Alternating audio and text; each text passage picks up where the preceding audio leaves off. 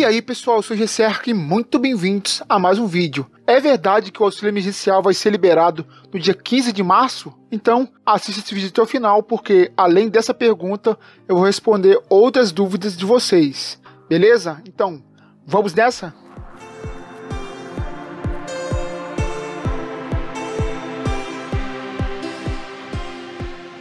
Mas antes de prosseguir, caso você seja novo por aqui, inscreva-se e ative o sininho para receber notificações de novas notícias, tá?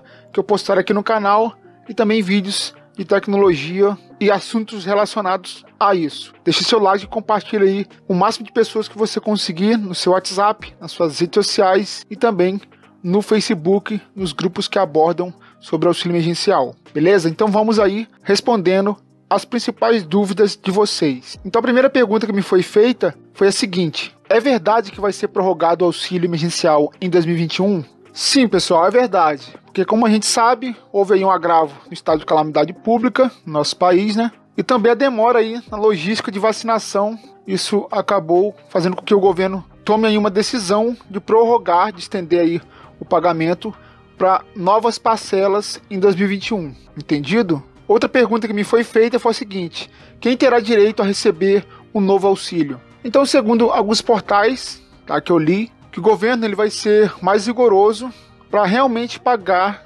quem precisa. Então, o governo junto à DataPrev, que é a empresa de tecnologia e informações da Previdência, vinculada ao Ministério da Economia, que é o órgão que faz a gestão da base de dados sociais brasileira. Então, eles desenvolveram uma plataforma para analisar 11 bases de dados em que os cidadãos brasileiros têm cadastro e algum tipo de informações para cruzarem esses dados, principalmente os dados bancários, e assim selecionar quem será aprovado ou não nesse processo. Isso já iniciou desde 11 meses atrás, tá? Ou seja, desde 2020. E nesse caso, de modo resumido, os que terão direito a receber o novo auxílio serão os que não tiverem trabalhando de carteira assinada, os que não tiverem recebendo algum outro tipo de benefício do governo exceto Bolsa Família, ou seja, pensão, aposentadoria, seguro-desemprego, benefício assistencial e outros nesse sentido. Então, se você recebe Bolsa Família e for aprovado, você vai receber também o acréscimo residual desse novo auxílio emergencial.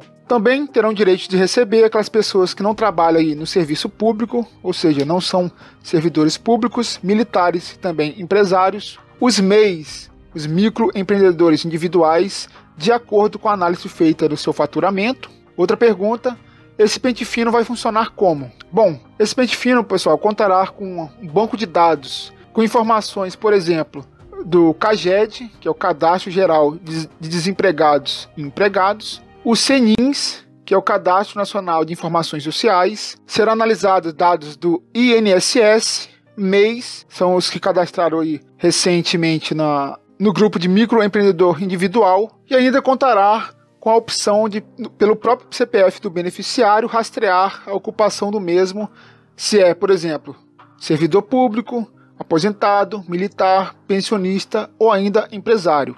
Além disso, pelo próprio CPF será capaz de puxar informações relativas aos dependentes declarados no imposto de renda. Então, esse será alguns bancos de dados que o governo tem para fazer essa análise e aprovar os beneficiários. Entendido? Fazendo esse cruzamento de dados aí. Outra pergunta: de quanto vai ser o valor do auxílio, desse novo auxílio? O governo queria pagar um valor entre 200 e 250, porém há uma pressão no Congresso para que se pague no mínimo 300 reais. Olha aqui um trecho da matéria referente ao desejo do ministro da Economia Paulo Guedes. Na última semana, o ministro da Economia Paulo Guedes, em evento no banco BTG Compactual, declarou que as novas parcelas devem ficar em 250 reais. Ainda na ocasião, o ministro declarou que as camadas protetivas que eram de 600 reais caíram para 300, agora pode descer, digamos, para 250 reais, disse aí o ministro da Economia Paulo Guedes. Porém, como eu disse, há pressão tanto do Senado como da Câmara Federal para que se pague no mínimo 300 reais, beleza? Outra pergunta, vai ser quantas parcelas? No início de fevereiro, a especulação era, pessoal, que fosse pago duas parcelas. Agora, segundo o próprio governo, será entre 3 a 4 parcelas. Quais meses serão escolhidos para serem pago essas quatro parcelas. Segundo o governo também, será pago aí iniciando em março e vai até junho de 2021. Olha o que diz aqui um trecho da matéria. Dentre as diversas declarações de membros do governo desta última semana, o presidente Jair Bolsonaro também declarou que a nova prorrogação do auxílio emergencial deve começar em março, com duração até mês de junho, entendido? Quando vai ser o pagamento do primeiro lote das novas parcelas do benefício? Seguinte, eu acabei de fazer uma pesquisa e segundo fonte do portal Rede Jornal Contábil do R7, o chefe de Congresso, o chefe de Congresso Nacional, Eduardo Gomes, tá? Que ele é o chefe das duas casas, tanto do Senado como da Câmara de Deputados, ele disse que a partir do dia 15 de março tá?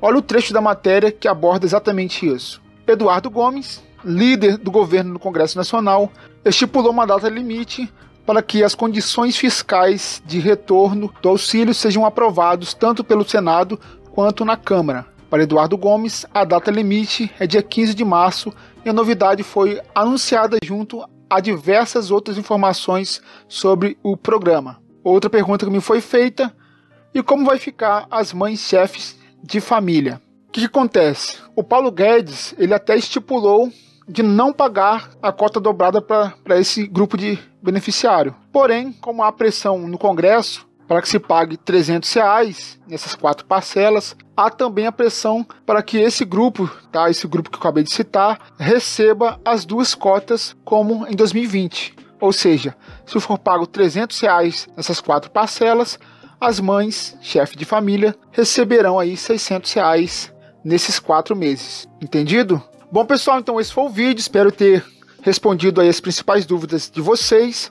Não esqueça de assinar o canal, tem um botão aqui abaixo, ativar o sininho para receber notificações sempre que eu postar aqui e também de deixar o seu like e compartilhar aí nos grupos do WhatsApp e também do Facebook que aborda sobre o auxílio emergencial, tá? Para que mais pessoas tiram as suas dúvidas e saibam dessas informações atualizadas que eu acabei de passar para vocês. Grupo do Telegram aqui abaixo, no, fixado no primeiro comentário e também na descrição do vídeo, para você não perder nadinha que eu postar aqui, porque eu compartilho lá também.